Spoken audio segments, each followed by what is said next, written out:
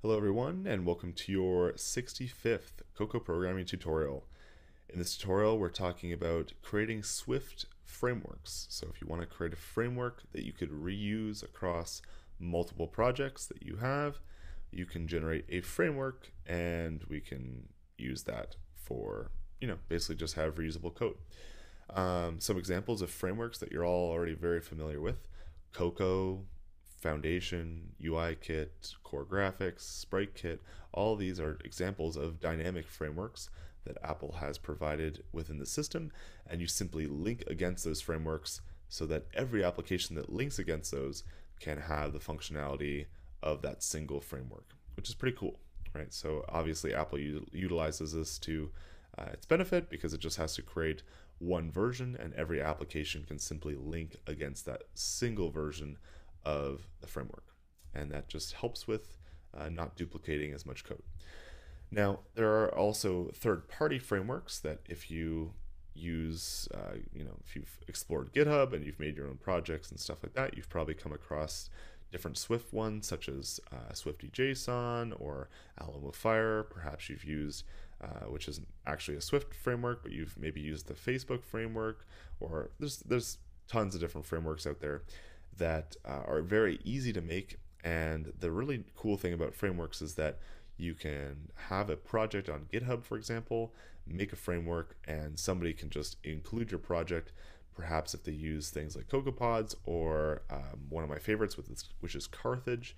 If they use a thing like Carthage, they can simply build your project uh, right from your uh, repository. I think lots of cool things that you can do with uh, dynamic frameworks. So we're to talk about that in this tutorial. So the first thing uh, to note, this works across all the different platforms. You can do iOS, watchOS, OS X. All will be the same, but in this obviously is keeping with the Cocoa tradition of this series. We're going to make a Cocoa framework. Let's make a logging framework. So I'm just going to call this framework logging framework. And as you can see, we have a new target that's created. This is a framework target. This is not an application. We also have this little header file that includes a bunch of random information about the framework itself, such as the version number. Really, this information is not too important to you. What you want to do is make your own classes. So to do this, we can simply say file new and new file. So command N I don't know why I always show that, but Command N is the way that you should make new files. Uh, OS X source, Swift file. We want to make a new file. I'm going to call it logging.swift. So here we go. We have a new Swift file called logging.swift. I'm going to make a new class. Um, and let me do this. Nope. Class, Swift, nope, Swift class logging. And uh, what I want to do is we're going to make an initializer for this. And anyway, this is just sort of a, a stub in for uh, a logging class. So the one thing that's very important to know about frameworks is that if you need to expose a class to an outside entity, so in the case of a framework, you're always trying to expose all the class information that you want to another project, right? Somebody else is using your framework.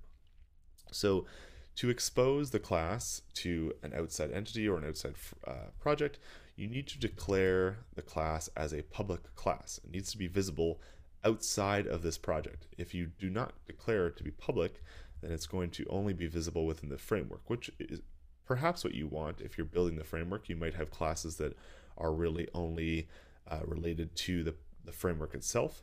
But if you need to create a class that is visible to people using your framework, then you need to declare everything as public.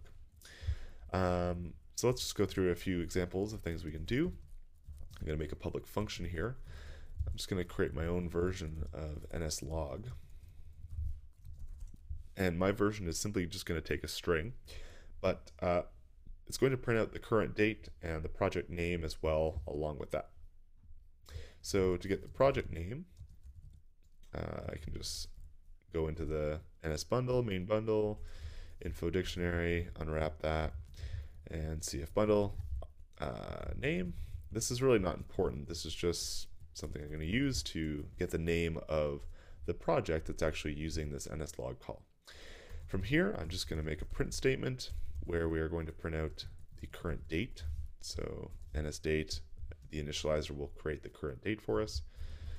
We can say name and string, right?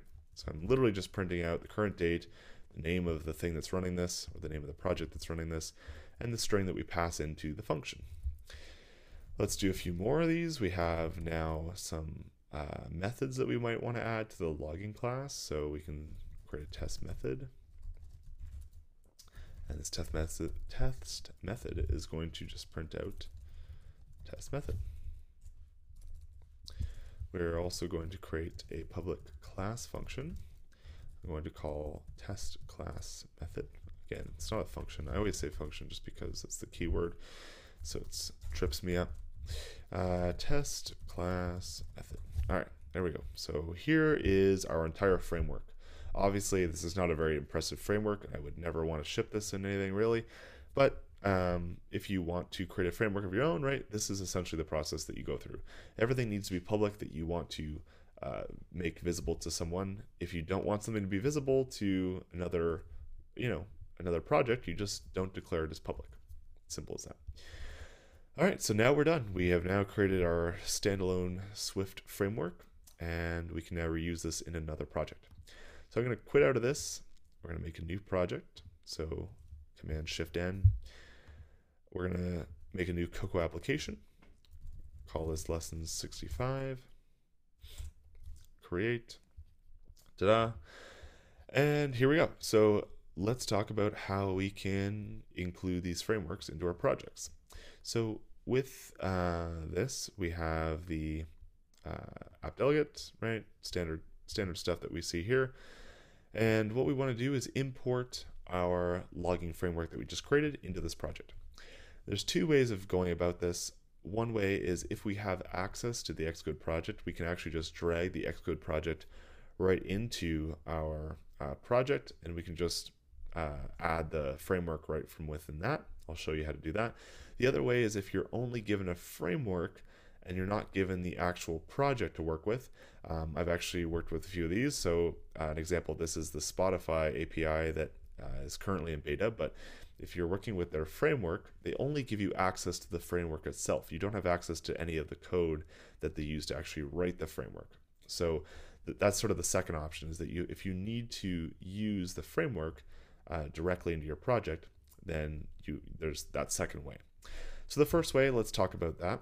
Um, I want to first off go into Finder. So I'm going to make a new window here for the desktop. Under the logging framework that I created earlier, I'm simply going to drag in the Xcode project and drop it into our uh, current application. All right. So make sure that you've actually closed this Xcode project because if you don't, it'll probably yell at you. Um, but anyway, now that we have this, right, what I want to do is under my lesson 65 project, under general, I want to add an embedded binary. So I'm going to add under embedded binary the logging framework that I have, and this is just included in our uh, our project that we have. So I can just hit add on this, and now we can we have now added the logging framework into our project. So that's cool. That's all we need to do, and from here I can start using it. So I can say import logging. If, for example, this doesn't start auto-completing for you, you can simply hit Command B, and this will build your entire project, including the binaries that you have embedded. And once this is done building for the first time through, you should be able to just automatically just type it, and it should autocomplete logging framework for you. All right, let's test out some of our functions. So we have that nslog that I created. Uh, we have string, which is, again, this is our version of nslog you obviously should not call a printing function nslog because that is Apple's, you know, ns is Apple's uh, particular uh, prefix, so don't do this. But obviously, I'm just showing you things that you can do. This is our nslog. If I want to use the logging class, I can say logging.test class method. I can create an instance of logging if I want. Logging using our public initializer. Now I can say log dot test method, for example. All right.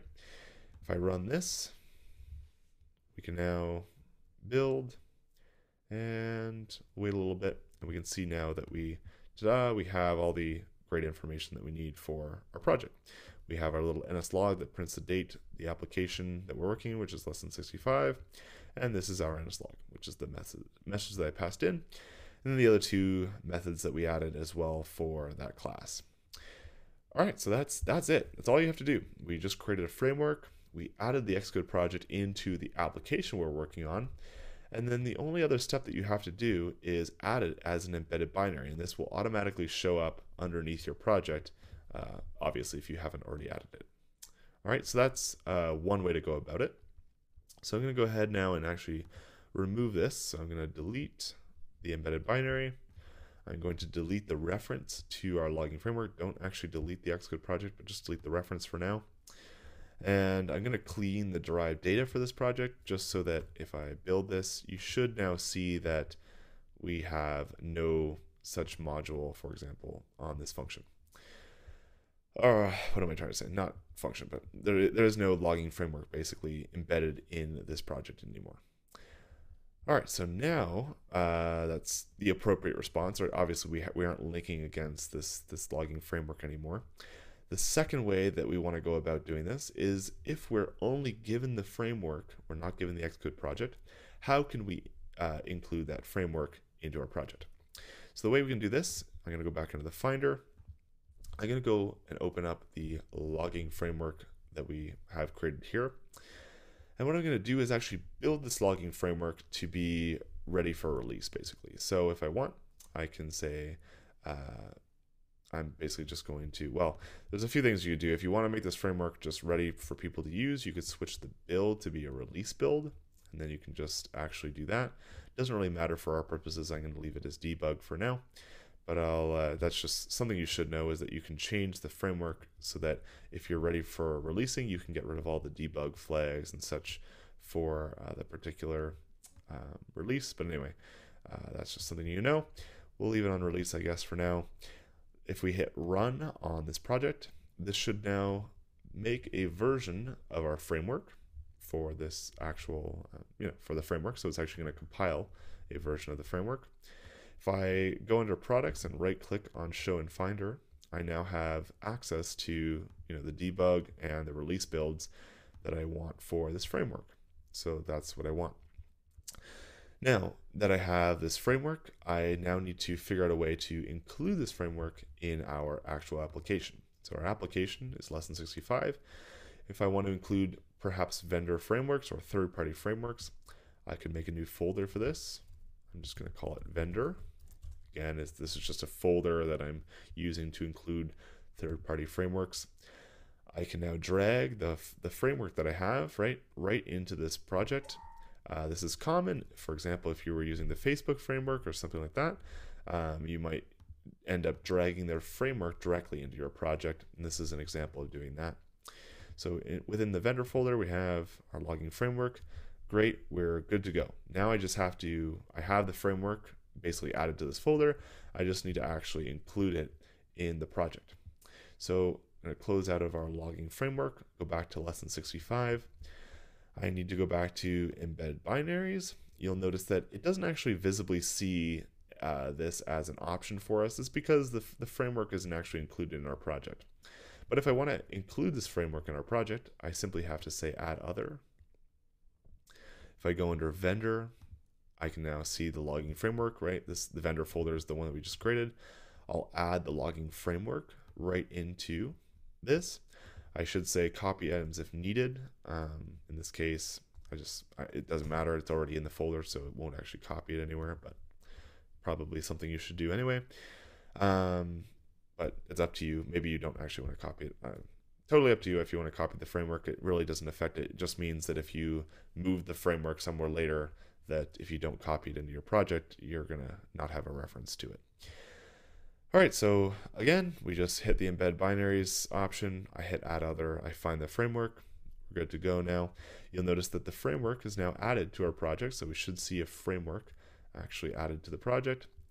And from here, we are good to go. So if I go back to my app delegate and I run this, I should be able to compile this with absolutely no issues. So there we go. I run, our project builds, all the standard printing stuff happens as well. So basically the, the framework work the, the framework actually works, right? Our we basically just exported the framework from our original project. I moved the framework into our project. I include it in the actual Xcode project section under the embedded binaries, and we can now use this project. One thing that I'm going to mention is something you might come up um, or might be a problem that you run into if you're trying to use frameworks. If under, uh, basically, if you can't, for whatever reason, you can't find the framework that you're using, so you perhaps uh, try to link towards it or you embed it and it doesn't actually see the framework, you can uh, add it as a search path. So if I search for search paths under the build settings for this project or this uh, target, we can see that under search, uh, the framework search paths, we actually have added the vendor framework, and that's because I, I use the embedded option. If for whatever reason you don't have this, uh, if you don't embed the framework and you're just linking to it, but you need to link to it and it's not actually uh, included in your project, you'll need to add the search path directly into your build settings. And you can simply do this by hitting the add button and you add the, the path to where the framework is actually located. Again, if you're embedding a framework, it means that you're actually going to have a copy of the framework within your project. If you're linking to a framework, it just means that you're going to link to a place on the disk, right? So if I, I usually you only want to do this if the framework is something like Apple's frameworks, right? And you already are guaranteed that the framework is going to be on the system. All right, so that's pretty much all I want to talk about for frameworks. If you have any other questions on anything else framework related, please leave your comments in the questions below. And I will see you guys in an upcoming tutorial. See you then.